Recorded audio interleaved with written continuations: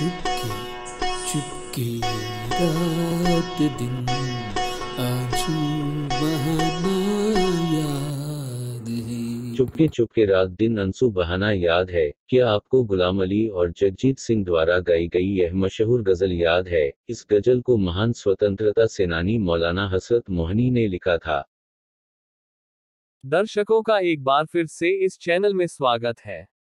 इस कड़ी में हम उस स्वतंत्रता सेनानी के बारे में चर्चा करेंगे जिसने इनकलाब जिंदाबाद का नारा गढ़ा था।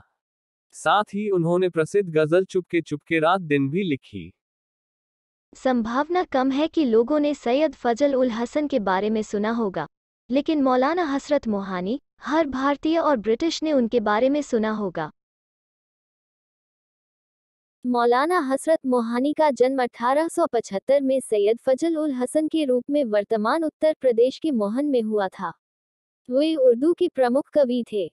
उनका कलम नाम हसरत था और अंतिम नाम मोहनी उनके जन्मस्थान को दर्शाता है। हसरत कॉलेज के दिनों से ही देशभक्त थे। उन्होंने मोहम्मदन एंग्लो ओरिएंटल कॉलेज में अध्ययन किया, जो बाद में अलीगढ़ मुस्लिम विश्वविद्यालय बन गया।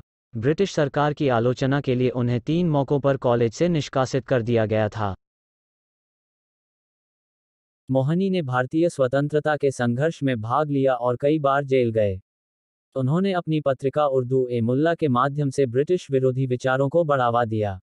उन दिनों, राजनीतिक बंदियों के साथ आम अपराधियों जैसा व्यवहार किया जाता था और उन्हें शारीरिक श्रम करने के लिए मजबूर किया जाता था।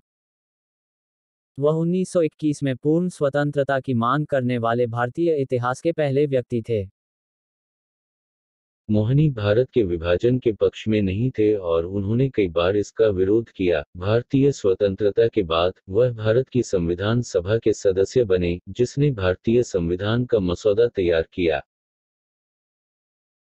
हसरत ने न तो सरकारी भत्ते स्वीकार किए और न ही सरकारी आवासों पर रहे। इसके बजाय, वह मस्जिदों में रहे, वह साजा तानगे में संसद की यात्रा करते थे। वह एक धार्मिक अभ्यास करने वाले मुसलमान थे और एक सादा जीवन व्यतीत करते थे। उन्होंने कई बार हज किया था। वह ट्रेन से तीसरी श्रेणी में यात्रा करना पसंद करते थे। मौलाना हसरत मोहानी का निधन 13 मई उन्नीस सौ इक्यावन को लखनऊ में हुआ था। हसरत ने भगवान कृष्ण के बारे में भक्ति कविताएँ लिखी हैं और अक्सर कृष्ण जन्माष्टमी मनाने के लिए मथुरा जाते थे।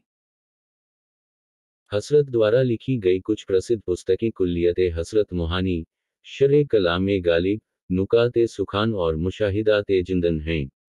गुलाम अली और जगजीत सिंह द्वारा गाया गया एक बहुत लोकप्रिय गज़ल चुके चुके रात दिन उनके द्वारा लिखा गया था। यह गाना हिंदी फ़िल्म निकाह में भी दिखाया गया था। भारतीय स्वतंत्रता सेनानियों का प्रसिद्ध नारा, इनकलाब जिंदाबाद, मोहनी द्वारा एक नौ दो एक में गढ़ा गया था। उनके सम्मान में अलीगढ़ मुस्लिम विश्वविद्यालय में उनके नाम पर एक छात्रावास है। मुम्बरा और कानपुर में उनके नाम पर एक गली का नाम रखा गया है। मौलाना हसरत मोहनी अस्पताल कानपुर के चमनगंज में स्थित है। मौलाना हसरत मोहनी गैलरी बिठूर संग्रहालय में स्थित है। कोलकाता में Hasrat Mohani memorial girls higher secondary school का नाम उनके नाम पर रखा गया है।